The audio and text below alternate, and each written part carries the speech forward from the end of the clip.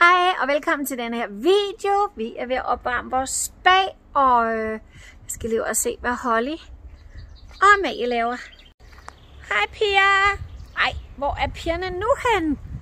Jeg troede lige, de var i gang med at gynge. Men de har opdaget, at vi har flyttet. Hej Sofia! Ah, der var Holly. Holly, har du opdaget, at vi har rykket sandkassen? Ja, Ja, og ved I hvad? Første. Ved I godt hvad? Når Brian kommer tilbage, så skal han sætte gyngen op. I den gren her, Holly. Og mormor en dag, så sagde jeg til dig, mormor, kan morfar ikke sætte den op i dag? Og så sagde du, ja en dag, så sagde du, at morfar godt skulle sætte den op, men han gjorde det ikke. Nej, men Brian gør det i dag. Han vil gerne stille sig op på stige og sætte den op. Og så sætter han den... Nej, Lovet mig, at jeg skulle være den første. Er det ikke lige meget, hvem der er den første? Så trækker vi lod. Mor, du lovede på Guds ord, at jeg var den Det kan jeg altså ikke huske, jeg har sagt. Så Hvad? kan det godt være, Sofia, der er den første. Hvad siger du? Så kan det godt være, Sofia, der er den første, jeg prøver. Morgen, det er for dig? Nå, det var sødt, Holly. Det var sødt. Så sig lige tak til Holly. Jeg tror, hun mener det. Så sig lige tak til Holly. Jeg mener Nå, det var sødt, Holly. Nej, mor. Kalder du mig Holly? Mor, kan Ja. en is? Tak. Jo, men kan I se, hvor pænt der blev derovre? Mor, Nadia og Brian har ordnet have. Ja, men din mor sagde, at du skulle have jakke på, så kommer jeg også ud med en jakke til dig. Mamma, så giv mig min poncho. Ja, jeg tager din poncho. Men så jeg kan jakke på øvrigt, den er meget tyk. Ja, det har du. Meget tyk sweaters. Jeg skal hjem af min mongerskonsur, fordi Ui. den er sådan en, min er blå, og der er den sådan en firkant her. Har du også en Among Us Og så trøje? er det, så står der Among Us. det er ikke den, som vi har. Det er ikke så en. Er det også en, Holly? Nej, mor. Nå. Mor, det er så Holly, er det ikke så en langærmet, men ikke hvor den er tyk, og hvor der heller ikke er hættetrøj ved. Det er bare, hvor appen, appen er på. Åh, oh, Det er bare, hvor appen er. men nu går jeg ind og henter en is til jer. Ja. Nu henter jeg en is til jer, og så kommer Brian og sætter gyngen op, ikke? Lidt mindre. Så skal Brian sætte den sidste gyngen op i træet. Jeg har ekstra snor, Nadia. Ja. Jeg har netop købt ekstra snor. Er det en snor til hver? Ja, fordi det skal højt op og træde langt ned, så børnene selv kan komme op. Jeg kan godt forstå, at I gemmer jer op i legehuset. Ja, det er op på den der, det er den der gren. Den skal jo sidde lidt ude. Ja, den skal sidde lidt ude. Men måske skal jeg lige samle den først, når jeg gyngen med de der ræb. Brian, du falder ikke ned, vel? Nadia har lige fortalt mig, at du har brækket et ben engang. Jeg kender jo ikke Stien, Brian. Kender du Stien? Nå, men du holder her. Du skal lige se, for du kan godt se, at det er ikke langt nok. Det bliver sjovt at få en... Øh... Hvis du står der, den falder ned, så hovedet på Okay, jeg flytter mig. Men det bliver også sjovt at få en gynge mere. Og den kan jo gynge højt, for den kommer meget lang ræb. Du skal jo også kunne... øh, Du skal også kunne binde. Mor, hun er i sikkerheden. Hun er legehuset. Hvor, hvordan gør man det? Øh, måske skal man lave en lykke om, som Thomas har gjort først op. Han har jo lavet sådan en lykke med hver snor. Ja, prøv at lave... Du, du får Forstår I det? Du får bare snorene deroppe. Ja. Forstår I det? Hold jer gemt sig helt i Det det var fordi, jeg lejlighed. er. Det var fordi, jeg er bange for, at min far ryger ned. Nå, far ved, hvad han gør, Holly. Det regner jeg da med, ikke, Brian? Jeg ved aldrig, hvad han laver. Det, jeg tror, Brian er helt styr på det. Ja, jeg tænker... Ja. Ja. Så jeg er ikke bange, jeg sidder her. Okay.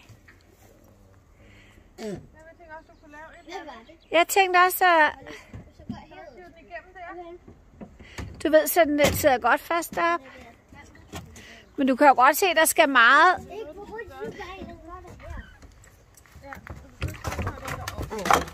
Hvad laver du,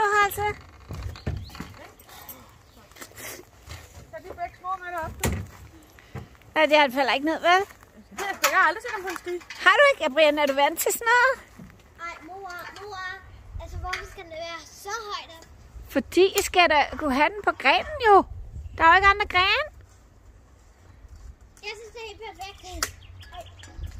Oh my god. Hvorfor knækker jeg? Det ved jeg ikke. Jeg er da mere bange for, at han falder ned. Tror du, det går, Nadia?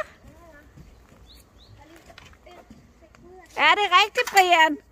Han laver lige sådan en lykke deroppe. Og så kan vi på en eller anden måde sætte gyngen fast. Ej, skal den være så højt op? Hvor langt den kommer den også for langt ned nu, mor? Ej, det tror jeg ikke. Jo, gør den. Så binder I da bare en knude midt på rebet, så den bliver kortere. Ja. Ikke? Den skal højere op. Ej, I skal jo også kunne komme op på den. Jamen, Eller også, så skal du dreje den her en gang eller to mere rundt.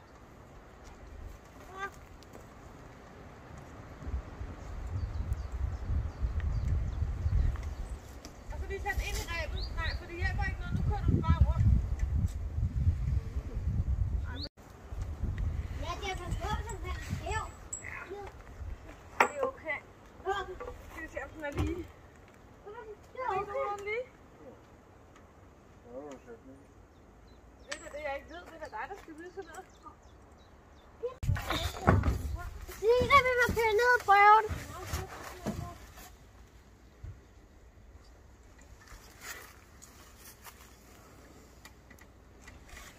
Der er ikke en måde, man burde bruge de der. Kan lade sig gøre, Nadia? Jeg har måske ikke tænkt, hvordan vi skal sætte fast. Hvad, Thomas? Spørg vores far. Skal jeg hen, Thomas? Ej, jeg henter lige Thomas. Nå, Thomas er lige går for at hjælpe med at sætte gyngen op, og pigerne holder hele tiden øje med spagen. Lige nu er den opvarmet med 14 grader her bag ved mig spagen. Og den skal jo helst være 30 grader, før de kan bade, eller 40 grader varme. Så vi venter endnu. Vi har ordnet herren, varmet poolen op, eller i gang med det. Vi venter egentlig bare på, at vi kan bade. Terrassen er fin der, så man kan sidde og se børnene. Mændene samarbejder nu om at få gyngen op i træet. Hej Holse, du har altså for langt hår, Holly. Hold da op, skat. Det bliver sjovt at få en gynge til. Ja. Holly, skal jeg sige dig noget? Prøv, hold, stå stille. Holly, skal jeg ikke prøve at gå op og gøre det? Skal jeg ikke prøve at gå op på stigen og gøre det? Du kan brække halsen. Nå, skal jeg ikke gøre det, Sofia? Nej, du kan brække halsen. Nå, så lader jeg være. Det er også klart, der skal meget langt ræb til, ikke?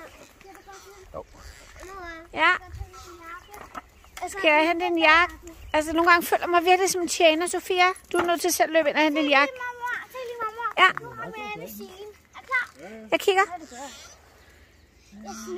Du snyder da ikke din mormor. Se mig. Mormor, jeg, jeg kan ikke engang tage den. Jeg kan den i Holly. Åh, det er tæt på. Nu kommer der en til, og jeg tror, den kan gå rigtig højt, fordi den har så lang ræb. Hørte du, hvad de sagde? Det var som om, jeg var dronningen. og jeg synes, det der træ, det er så eventyrligt. Hvornår skal vi så i gang med at bygge det sidste legehus? Ja, det skal jo ikke være op så længe. Men Nej. så er der jo arbejde lige med, så jeg er væk tre uger. Nej, nej, jeg, jeg glemmer jo hele tiden, at du starter nyt arbejde. Er det tre dage om ugen, du arbejder? Ja. Ja. Så må vi jo se, om vi kan ses nogle af de andre dage nu. Det. Tilbage. Dronningen kommer. Dronningen er her. Hvorfor kalder I mig dronningen? Jeg har Spioner. Og jeg har de fleste kræfter, og Sofie hun har usynlige kraft. Nej, jeg, jeg, jeg har kun én, det er usynlighedskraft. Holly, hun Ah. har alle de andre. Nå. Jeg har ild, vand, og vi skal hjælpe det andet hold med at tage fladet tilbage. Vi stiger os ind på slottet. Nej, ind på dronningens slot. Og så prøver vi at tage det. Når vi lader lige det sov, og så stiger vi altså. Usynlighedskraft. Wow. Wow.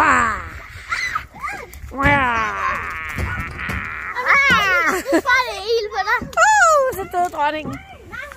Hun vågner op igen. Og ser, om hun kan spise små børn. Wow. Ild igen. Åh, oh, så dør dronningen igen. Fik mændene gyngen op, og Holly gynger på den, så jeg skal lige og se gyngen. Nå, så kom gyngen op, Holly. Holly, må jeg prøve den? Bare lige prøve den anden vej. Ja? Okay. Så jeg skal også lige på begge veje, når du er færdig. Jeg tror, man kan gynge rigtig højt med den gynge. Det kan man også.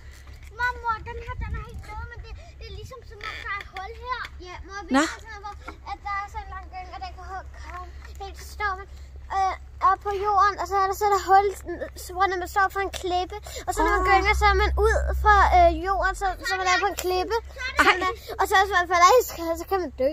Ej, Men mor, det gør man ikke, når man sidder på sådan en gynge. Ja, hold lige. Så er det, så når man gynger, så er det sådan gul og lyserød himmel. åh, oh, det er noget lejer. Åh, oh, du skal være mod mig, Sofia, så jeg kan se det. Nej, det er sjovt, den her. Okay, men så kører jeg bare over på den anden side. Er. Hold da op, bare. Hvor kan du give mig nogle skub? Ej. Ja, jeg tror faktisk, den kan komme højt op. Men jeg er bange at den kan slippe. Ej, jeg får gren i Den hovedet. skal bare ikke gynge ind i træet. Ej. Åh, vi skal lige have klippet nogle grene bagved. Øh, det Var den ikke sjov, for du kan gynge højere med den? Ja, den klipper bare. Ej, Sofia. Hvad var det, hun gjorde? Hun er ved at falde ned, Holly. Det er på grund af, at jeg rykkede min numse sådan her. Mormor, se, jeg leger Sofia er på gyngen. Prøv lige. Mormor, Jeg kigger. prøv at se, hvad jeg gør med Sofia nu. Ja. Hvad sker der? Er klar? Ja. Ding. Nej, det er ikke. Øh, Ding. Det her er sgu da sødt. Er I klar? Må jeg se? Nu kommer det. Hvad er det, du var der? Ja, så var det ikke sjovt, vel? Så var det ikke så sjovt. Og ja, så vil du ramme det. Men man kan gynge rigtig højt på den gynge, Sofia har. Skal jeg skubbe dig? Ja. Mamma, prøv at se mig. Ja. Kan du godt mærke det? Ja. Nej, ikke højere.